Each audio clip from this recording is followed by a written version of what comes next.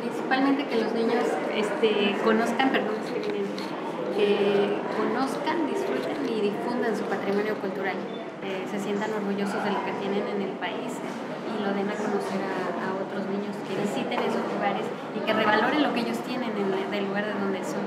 Pues, queríamos saber qué pensaban los niños en este momento de su país, queríamos saber que, cómo lo ven eh, y cómo se sienten en el lugar donde viven.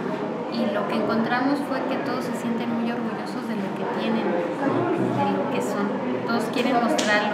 Había cartas, por ejemplo, de Aguascalientes, de los niños de Aguascalientes que dicen, en el municipio de Calvillo se hacen los, este, se siembran guayabas y se hacen los artes de guayaba. Vengan a conocerlo, le dicen a todo el mundo. Vengan a la feria de San Marcos, es una feria nacional muy grande, vengan a conocerla. Entonces todos quieren que todos los demás niños vayan a sus estados a conocer lo que tienen. Abrió en el metro, en 17 estaciones del metro, porque no cabe en una sola, entonces en 17 estaciones. Y luego fue al Museo Nacional de Culturas Populares. No está íntegra porque es muy grande y hay muchos elementos que no cabían. Me acaba de decir el director del museo que tuvieron que quitar algunos porque eh, es muy, muy grande. Abarca muchas cosas. Es que habla de gastronomía, de historia, de, los mismos materiales del lugar. Entonces, este, eh, el mismo baúl ya era un reto eh, este, con qué material hacerlo, ¿no? La propuesta del material ya era el primer reto y luego plasmar ahí las ideas de los niños.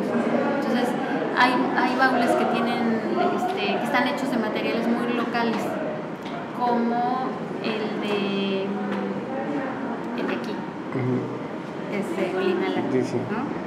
luego el de Tabasco, que es de este, lirios acuáticos de los pantanos de Tabasco, luego el de mm, Sinaloa es de palo fierro, con el mismo material que hacen las artesanías, esas de madera que, que labran muy bonitas, este, de ese material es el baúl, es el más pesado de todos. No podían bajarlo el día que cuando lo este, instalamos allá en, las, en el metro, como las estaciones son hacia abajo, entonces no podían bajar las escaleras las personas que venían de Sinaloa, que iban de Sinaloa. Tuvieron que hablarle al señor de la mudanza y a todos los que podían ayudar, ayudaron a bajarlo porque pesa muchísimos kilos.